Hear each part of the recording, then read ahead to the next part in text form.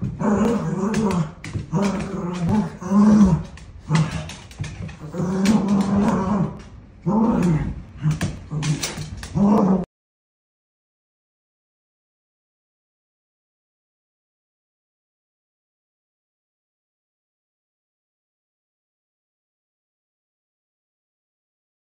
morning. Happy Thursday.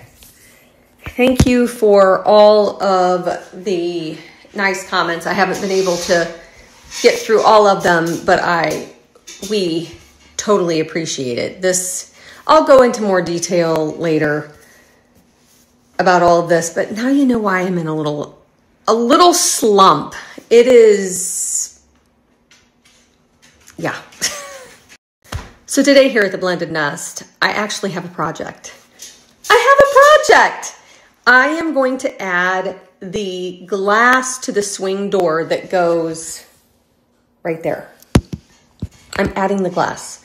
And the installer is going to come and install the door because I do not trust myself drilling into these floor tiles because the, the door is a swing door. So it attaches at the top and then at the bottom, there's a plate and the screws go in, in the tile.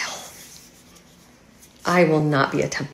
I will be working on that this morning. Bug has a groomer appointment at 11, so I'm going to take him to that. And I don't think we have anything this evening. We have had doctor's appointments almost every day.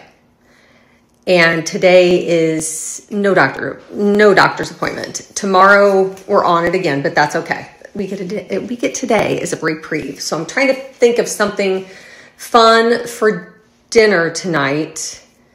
And when I figure that out, I'll let you, I'll let you know. Before I go out in the cold and get this glass put in, I did check the temperature that you can use the silicone and it, it is under 35 degrees, they say no, but it's for it's probably 45 outside. So I'm going to show you what we we need to do still in this bathroom to get it up to par. I am going to have someone come and install the crown molding. I don't have the mental capacity to do that right now. I just don't. So I'm going to paint the wall and then I did pick up some high gloss paint to paint this. There used to be a medicine cabinet when they built this bathroom and they didn't, they cut these tiles to put the medicine cabinet in. So we had the hole filled in. That's why you can see there, they put the drywall mud here. So I need to paint this. The, the guy primed it, I think. Maybe not. I don't know. I'll figure that out.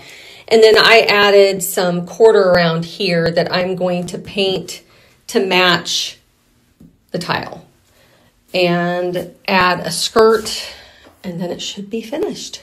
I don't know if you remember this, but this is the old swing door and it had probably 10 layers of paint on it that I stripped off. And then I had the gentleman that did the kitchen, I had him remove this panel because I didn't trust myself. I just didn't didn't and he did such a great job. So we ordered some glass that I'm going to be adding today and putting the trim back on here. I just dropped Bug off at the groomer. The baby is sleeping. Silicone is drying. I am sanding down the trim that I'm going to be placing around the glass. I'm doing that here in a second, but I got Happy Mail. Happy Mail. This is my favorite Happy Mail in all of the land. I got it's from Antique Candle Co. if you didn't see. peppermint bark. One, two, three, four. Do you think I like it? I also ordered a couple of tree farms and a couple of home for the holidays, so I should be stocked up. I am stocking up because they're still 30% off site wide. And if you spend over $75, you get an additional candle called Mama's Kitchen Candle, which is one of their all time selling candles. You get that for free. There's always free shipping. Happiness guarantee. If you get this peppermint bark candle and say, you know, it's not my favorite, they will replace it with one that you will love. trying to look at messages in between everything, the running, the siliconing, everything. This Sherpa jacket, I can I can literally live in it. It is so comfortable. I tried it on last night and I said, Rob, what do you think of that? He goes, Oh my gosh, that looks really good. It's a Walmart find. Walmart. They have this in black also, but this is corduroy. And then it has these little piping, edging, edging. And then this is a little corduroy piece too, along with the bottom with this little edging. Super duper comfortable. I grabbed a small because again, I don't like, I don't like swimming in things. Also, I bought it because I thought, how cute would this outfit be? This one, because this is a taupe and it's got this little brown edge, so you could probably wear it with this. Or, I showed these the other day. Are these?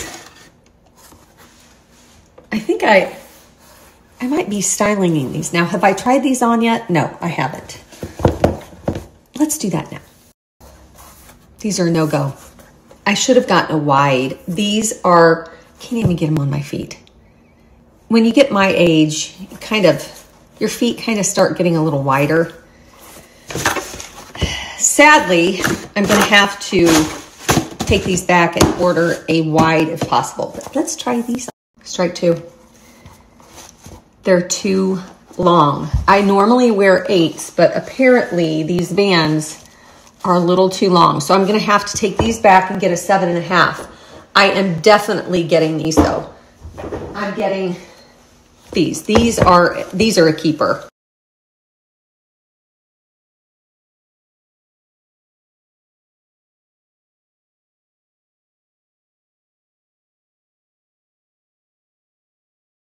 The door is done.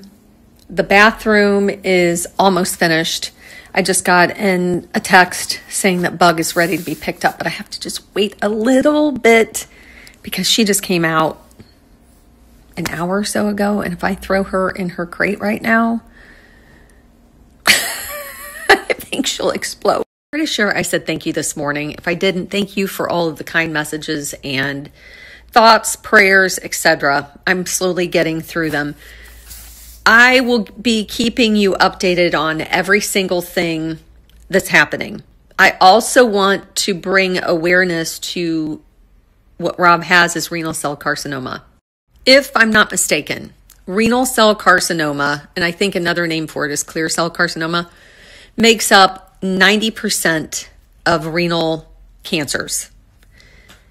And Rob was very aware over four years ago that something was wrong, even though he had this little teeny tiny sign. Usually they catch renal cell later in the game when a patient starts having pain in their kidney. He didn't have pain, he just had a couple days of blood in his urine, and that was it, and it went away. And if we didn't get that looked into, things could be way, way worse than they are now. And I think he has been blessed this entire way for so many reasons. About this entire four year journey, he has not had any pain whatsoever. And he's been on two immune therapies. One is Keytruda, and the other one was an oral pill that he can only take for a short amount of time because the pill made him very sick and gave him an acute hepatitis that went away as soon as he stopped that pill. Hasn't lost his hair, hasn't been sick, hasn't been nauseous, hasn't had any symptom what well, he's had dry mouth, but that that's it. And that in itself when you have cancer is a huge huge blessing. He's had other spots come up like in his lung, in his other kidney and those have been easily taken care of with Keytruda. That got that basically it didn't get rid of it because what we were told is the cancer doesn't go away. It's just shrunk. It's it shrinks and it lays there dormant. And we have just been. He has been so healthy through this entire journey that we question. We look at each other he looks at me and says, "Do are the scans right?" Because I he never feels he never feels anything. On the flip side, we're so grateful that we have caught all of these things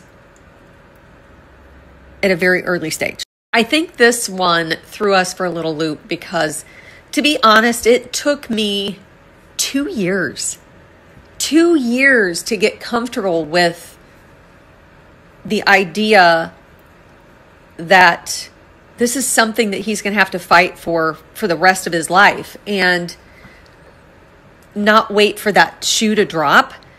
And so the last two years, it's been smooth sailing. And then to hear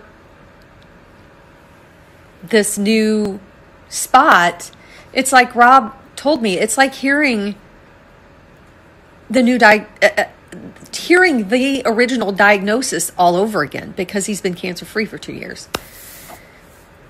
So, you know, if you've ever had a family member or anything go for, through this, there are so many emotions that run through your. We found this out Tuesday.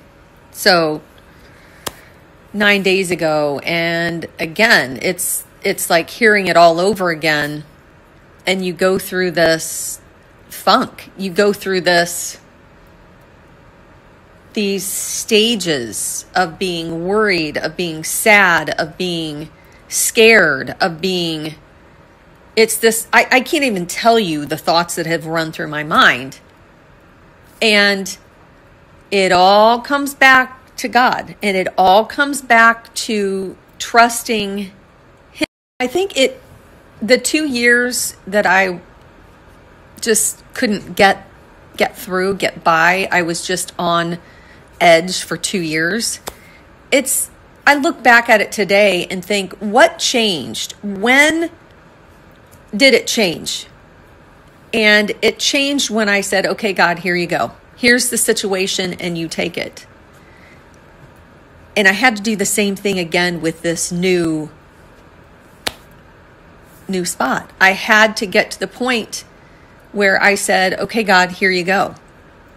here it is. And as soon as I gave him that, as soon as I give him anything like that, I get this internal peace, and so does Rob. And